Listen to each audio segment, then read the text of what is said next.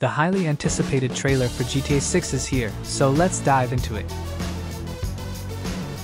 From its release in 2013, GTA 5 Online graphics received significant updates, and as a result, it still looks fresh today.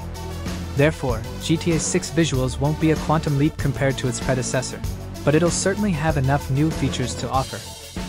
For example, unlike in GTA 5 now we can see that the hair is moving, most probably even if longer, it won't glitch with clothing. Transparency of the water, dust and particles, level of details. All that will be on a whole new level to meet the high expectations of the gaming community.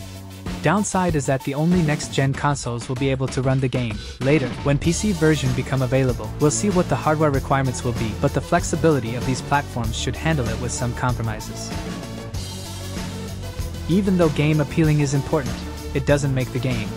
People like stories, variety of customizations and possibilities inside the virtual world which will keep their attention and make them come for more and more.